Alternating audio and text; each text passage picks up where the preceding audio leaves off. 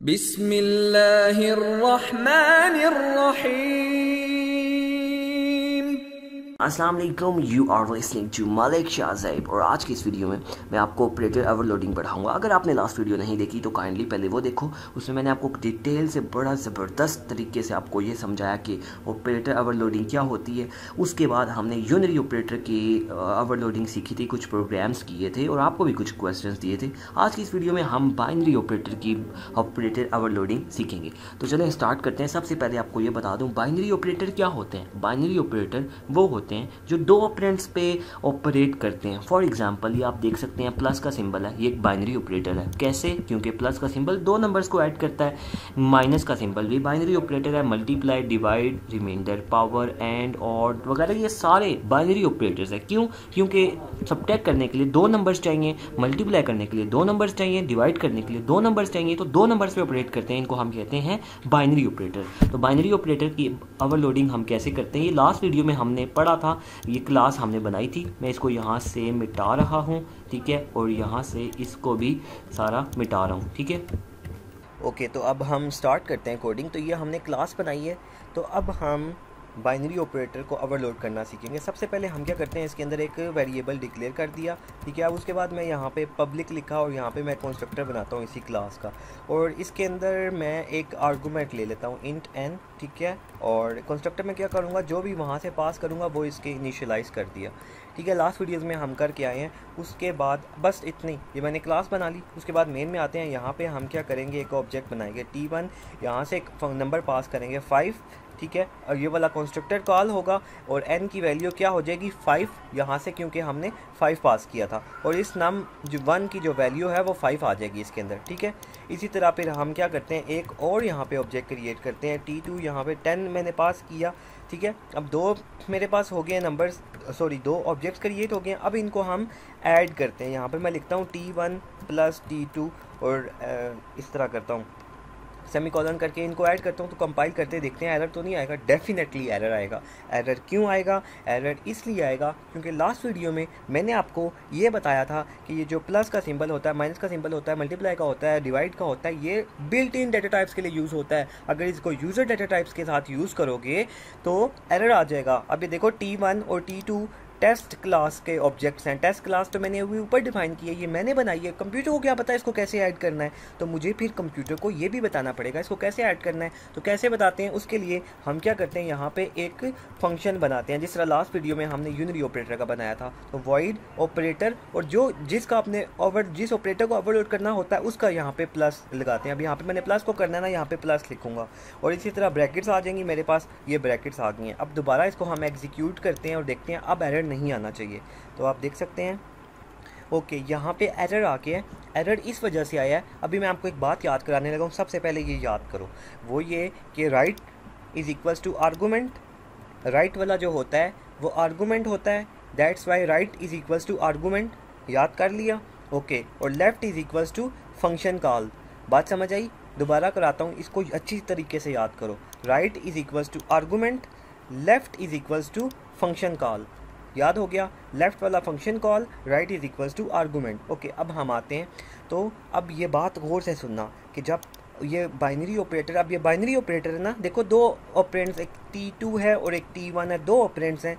तो जब इस तरह बाइनरी ऑपरेटर हम यूज़ करते हैं तो जो राइट right वाला होता है, वो फ़ंक्शन के अंदर एज एन आर्गूमेंट पास होता है। तो देखो, मैंने राइट right वाला इज़ इक्वल्स टू आर्गूमेंट लिखवाया था। तो जब ये फ़ंक्शन था ना, इसके राइट right वाला क्या है? टी टू तो ये वाला फ़ंक्शन कॉल होगा इससे और ये इसके अंदर एज एन आर्गूमेंट पास होगा। तो यहाँ पे मुझे टी टू यहाँ पे एक वेरिएबल रिसीव करने के लिए भी लगाना पड़ेगा। बात समझ आई? और ये देखो टी वन लिखा हुआ है। तो लेफ़्ट जो इस आर्गूमेंट ऑपरेटर के लेफ़्ट पे होता है, उसका फ़ंक्शन कॉल होता है। बात समझ आई? और जो इस ऑपरेटर के राइट right साइड पे होता है, वो एज एन आर्गूमेंट पास होता है। तो ये अब टी टू इस फ़ंक्शन के अंदर एज एन आर्गूमेंट पास होगा और टी वन का ये वाला पूरा फ़ंक्शन कॉल हो जाएगा। बात समझ आ गई? अब दोबारा इसको एग्जीक्यूट करते हैं, देखना अब एरर नहीं आएगा। तो ये आप देख सकते हैं कंपाइल हो रहा है और ये एग्जीक्यूट हो गया, कोई एरर नहीं आया। बात समझ आ गई है? इस तरह करके हम इस फ़ंक्शन ओवरलोडिंग करते हैं। अब बेसिकली मैंने इन दोनों ऑब्जेक्ट्स को ऐड करना है। तो अब आगे हम फ़ंक्शन भी लिखेंगे ना, इन दोनों को ऐड हो। तो हम क्या करते हैं, यहाँ से सबसे पहले एक जो इन दोनों ऑब्जेक्ट्स को ऐड करके ना, हम रिज़ल्ट किसी तीसरे ऑब्जेक्ट में स्टोर करवाएँगे। जैसे दो नंबर्स को ऐड करके हम जो सम आता था, वो सम वेरिएबल एक तीसरा नया वेरिएबल बनाते थे, उसके अंदर स्टोर करवाते थे। तो मैं क्या करूँगा, यहाँ पर टेस्ट टी रिज़ल्ट का एक, या सम कर लेते हैं। सम का एक ऑब्जेक्ट बनाया टेस्ट क्लास का ठीक है, और इसके अंदर एक एज एन आर्गूमेंट पास करना पड़ेगा। आर्गूमेंट क्यों पास करना पड़ेगा? आर्गूमेंट इसलिए पास करेगा क्योंकि हमने ऊपर एक कंस्ट्रक्टर बनाया है। जब ऑब्जेक्ट क्रिएट होता है तो वो कॉल होता है, और वो कॉल होगा तो वो एक आर्गूमेंट ले रहा है। तो उसके लिए हम क्या कर लेते हैं? यहाँ पर ज़ीरो पास कर लेते हैं। समझ आ गई बात? ओके अब सम हमारे पास आ गया। हम लिखते हैं सम इज़ इक्वल्स टू समझ आ गई बात? और यहाँ से T one plus T two ये प्लस वाला फ़ंक्शन कॉल होगा तो इधर आ जाएगा। बात समझ आ गई और ये जो टी टू है, वो एज एन आर्गूमेंट इसके अंदर पास हो जाएगा। अब मैंने इन दोनों को ऐड करने की यहाँ पे फंक्शनैलिटी लिखनी है। तो ऐड सिंपल उसी तरह करते हैं, जैसे लास्ट वीडियो में था, जितने भी इसके डाटा मेंबर्स होते हैं, उनको आपस में ऐड कर देते हैं। तो हम क्या करेंगे, यहाँ पे टेस्ट यहाँ पे टी थ्री एक नया ऑब्जेक्ट बनाएँगे, ठीक है? और यहाँ पे हम इसके अंदर ज़ीरो पास कर लेते हैं। यहाँ पे हमने ज़ीरो पास कर लिया, ठीक है? ओके और उसके बाद हम इसको ऐड करते हैं। तो T three dot num one is equals to num one plus T two dot num one समझ आ गई बात? और उसके बाद हम क्या करेंगे? यहाँ से रिटर्न कर देंगे रिटर्न टी थ्री बात समझ आई? अब बेसिकली यहाँ पे हमने किया क्या है कि हमने ना बेसिकली करना ये था कि हमने दो नंबर्स को ऐड सॉरी दो ऑब्जेक्ट्स को ऐड करना था। अब ये प्लस का ऑपरेटर है। ये जब आएगा यूज़र डिफाइंड डेटा टाइप के साथ तो ये वाला फ़ंक्शन कॉल हो जाएगा। अब ये वाला फ़ंक्शन कॉल होगा, इसमें हमने कराना क्या था? इस ऑब्जेक्ट को और इस ऑब्जेक्ट को ऐड कराना था। तो ये वाला ऑब्जेक्ट इसके अंदर एज एन आर्गूमेंट पास हुआ है और इस ऑब्जेक्ट का ये फ़ंक्शन कॉल हुआ है। तो हमने क्या किया? यहाँ पे आए और यहाँ पे हमने कोर ऑब्जेक्ट क्रिएट किया, जिसके अंदर हम टेम्प्रेरी तौर पे रिज़ल्ट सेव करेंगे। तो इस ऑब्जेक्ट का जो नम वन है, उसके अंदर ये पहला ऑब्जेक्ट नम वन किसको डिनोट कर रहा है? टी वन का जो है, क्योंकि इसका ऑब्जेक्ट कॉल हुआ है ना। ठीक है सॉरी इसका फ़ंक्शन कॉल हुआ है ना तो इसका फ़ंक्शन कॉल हुआ ये नम वन टी वन का है, और T two as an argument pass हुआ था तो वो उसका टी वन नम वन इसके साथ ऐड हो जाएगा। ऐड होके इसके अंदर स्टोर हो जाएगा और यहाँ से हम रिटर्न करवा रहे हैं। तो जब यहाँ से रिटर्न करवा रहे हैं, आपको पता है टी थ्री रिटर्न हो रहा है। टी थ्री की डाटा टाइप क्या है? टेस्ट तो यहाँ पे हमें टेस्ट लिखना पड़ेगा, ठीक है? और अब यहाँ पे दिस आ जाएगा, और यहाँ पे वो हो जाएगा। अब हम क्या करते हैं इसके अंदर एक और यहाँ पे वॉइड डिस्प्ले का फ़ंक्शन बनाते हैं और जिसमें हम ये चेक करेंगे कि वो ऐड हुए हैं या नहीं हुए। तो सी आउट करता हूँ और यहाँ पे करता हूँ नम वन ठीक है? और उसके बाद एंडल कर लेते हैं और यहाँ पे हम लिख लेते हैं आ, कुछ लिख लेते हैं इंग्लिश में भी। ये हम यहाँ पे लिखते हैं वैल्यू ठीक है, और फिर इस तरह करके ब्रैकेट्स लगा ली। अब हम लास्ट में जो सम है सम के अंदर हमने रिज़ल्ट स्टोर करवाए ना सम डॉट डिस्प्ले को कॉल कर लेते हैं। ठीक है, और इसको हम अब एग्जीक्यूट करते हैं। तो देखना, अब पहले में हम देखो क्या पास कर रहे हैं फाइव और दूसरे में टेन पास कर रहे हैं। तो यहाँ पे एरर आ रहा है, ठीक है एंड लिखा हुआ है एल नहीं लिखा हुआ एंड एल हो गया, ठीक है। अब पंद्रह पाँच और दस पास कर रहे थे तो आंसर फिफ्टीन आना चाहिए स्क्रीन के ऊपर। ये डिस्प्ले का फ़ंक्शन मैंने कॉल की है। तो अभी एग्जीक्यूट हो रहा है देखें वैल्यू फिफ्टीन तो क्या बेसिकली आपको बता रहा हूँ कि आपने दो ऑब्जेक्ट्स को ऐड करना सीख लिया है। इसी को कहते हैं ऑपरेटर ओवरलोडिंग अब आपको सब्ट्रैक्ट करना सिखाऊँ तो यहाँ पर हम क्या काम कर सकते हैं? इसी को आ, मैं क्या करता हूँ? इसी ऑब्जेक्ट को यहाँ से ना ये जो फ़ंक्शन बनाया है सब्ट्रैक्ट भी बिल्कुल इसी तरह होता है। जस्ट आपने ना इस प्लस वाले ऑपरेटर को यहाँ पे माइनस डाल दो और नीचे जो फंक्शनैलिटी हो रही है, इसको माइनस कर दो। तो ये आपने क्या किया? उनको सब्ट्रैक्ट कर दिया। आपने उनको मल्टीप्लाई करना है तो सिंपल यहाँ पे क्या करो? इसको, उसी को कॉपी किया मैंने, उसी को पेस्ट किया और यहाँ पे मल्टीप्लाई का सिंबल डाल दो, ठीक है? और नीचे भी जहाँ पे प्लस था, वहाँ पे मल्टीप्लाई डाल दो। तो ये दोनों नंबर्स मल्टीप्लाई हो जाएँगे। अब सॉरी ऑब्जेक्ट्स मल्टीप्लाई हो जाएँगे। अब अगर आपने डिवाइड करना है तो आप यहाँ पर लिखो डिवाइड का सिम्बल डालो और नीचे भी डिवाइड का सिम्बल डाल दो। ठीक है, ये प्लस की जगह हम यहाँ पे भी डिवाइड डाल देते हैं। तो ये क्या हो जाएगा? डिवाइड हो जाएगा। अब सिंपल यहाँ पे आप दो नंबर्स क्या हो रहे थे? मल्टीप्लाई हो रहे थे। अब डिवाइड करते हैं तो देखते हैं आंसर क्या आता है। सॉरी मल्टीप्लाई करते हैं यहाँ पे। तो देखो मल्टीप्लाई करते हैं क्योंकि मल्टीप्लाई का अब ऊपर हमने फ़ंक्शन डिफाइन किया हुआ है। तो अब देखना आंसर 50 आना चाहिए। अब मल्टीप्लाई वाला फ़ंक्शन कॉल होगा। इसी सम वेरिएबल में हम जस्ट स्टोर करवा रहे थे कि फिफ्टी आंसर आ गया। समझ रहे हो बात? अब मैं मल्टीप्लाई करूँ डिवाइड करूँ मैं रिमाइंडर लेना है, यहाँ पे रिमाइंडर लगा दो। इसी तरह अगर आपने बाकी ऑपरेटर्स भी परफॉर्म करने हैं तो जो सा ऑपरेटर आपको चाहिए, यहाँ पे वो लगा दो।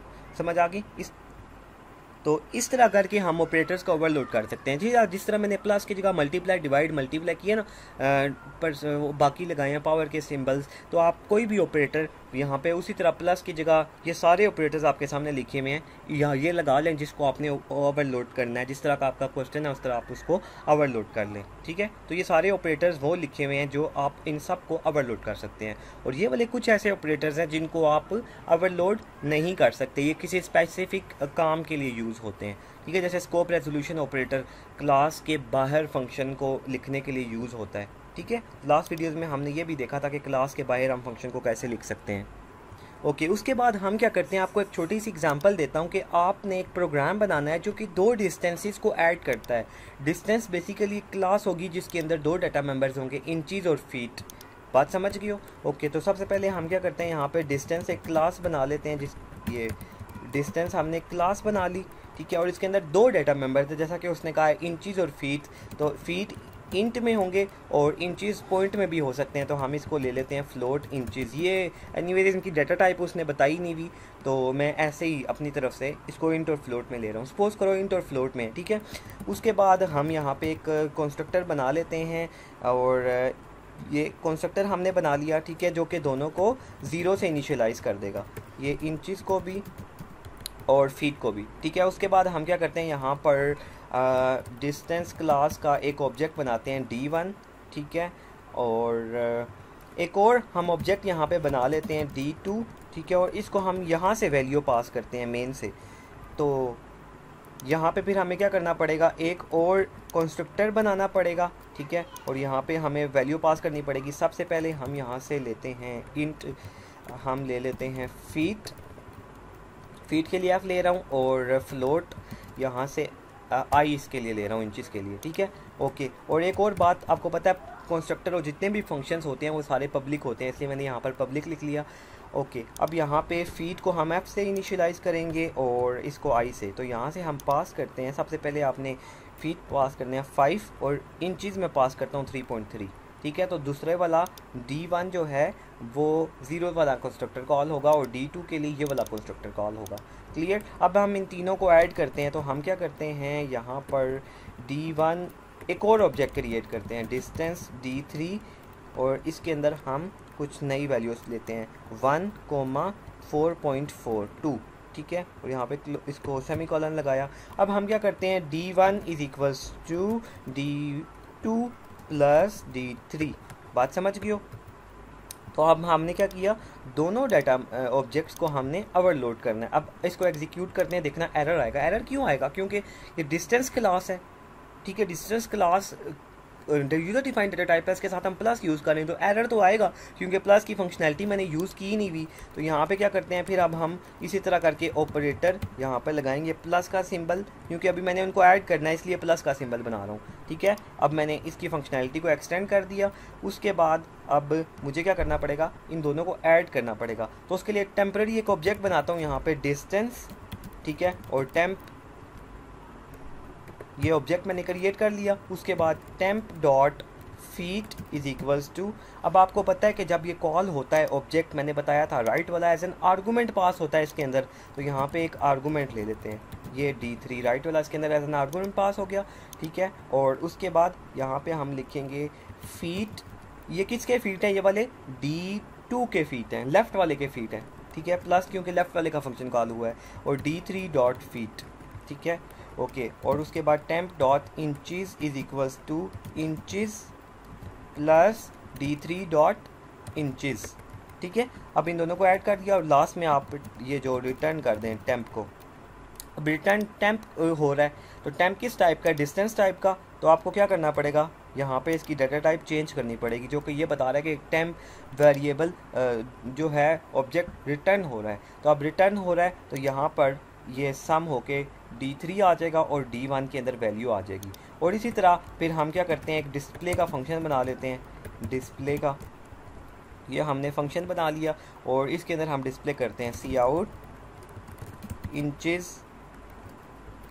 यहाँ पे हम कर लेते हैं इंचेस जिसका फ़ंक्शन कॉल होगा उसको एग्जीक्यूट होगा। ठीक है? और इसके बाद हम कर लेते हैं एंड एल उसके बाद सी आउट यहाँ पे हम कर लेते हैं फीट ठीक है? और यहाँ पे हम फीट करके डिस्प्ले कर लेते हैं और इसी तरह एंड एल अब आपने कर लिया, अब इसके बाद जो रिज़ल्ट आएगा, आपने उसको क्या करना है डी वन को डिस्प्ले करवाना है ना तो यहाँ पे करो डी वन डॉट डिस्प्ले का फ़ंक्शन कॉल कर लो। एग्जीक्यूट करो तो देखना अभी ये दोनों डिस्टेंसेज ऐड हो जाएँगे। ऑपरेटर ओवर लोडिंग करके आपने क्या किया है, एक यूज़र देखो, दोनों इंचज़ ऐड हो गए ना सेवन पॉइंट फाइव और सिक्स समझ गए मेरी बात? फाइव और वन सिक्स और ये वाला सेवन पॉइंट फाइव बन गया। तो डिस्टेंसेस को आपने ऐड कर दिया। अब आपको क्वेश्चन में कहता कि दो जो है उनको सब्ट्रैक्ट करो तो आपने जस्ट प्लस की जगह माइनस डालना है। ऊपर भी यहाँ पे ऑपरेटर में माइनस डाल देना। मल्टीप्लाई करने का कहता है डिस्टेंसेज को मल्टीप्लाई करो। इसी तरह कम्प्लेक्स नंबर के बारे में आ सकता है। किसी तरह का कोई भी क्वेश्चन आ सकता है, वो जस्ट लॉजिक यही है कि ऑपरेटर ओवरलोडिंग की इस तरह करके हम एक फ़ंक्शन बनाते हैं और ये ऑपरेटर का कीवर्ड होता है जो कि इस फ़ंक्शन को ओवरलोड करने के लिए यूज़ किया जाता है। तो आई होप आपको समझ में आई होगी। अगर फिर भी किसी तरह की कोई कन्फ्यूज़न है कुछ समझ में नहीं आ रहा तो मुझे बताओ, मैं आपको नेक्स्ट वीडियो में कुछ नए तरीके से समझाऊँगा, ठीक है? तो अपना ख्याल रखिएगा और कमेंट करके लाजमी बताइएगा कि वीडियो कैसी बनी है, आपको लेक्चर मेरी समझ में आ रहा है या नहीं आ रहा। अल्लाह हाफिज़, अपना ख्याल रखिएगा।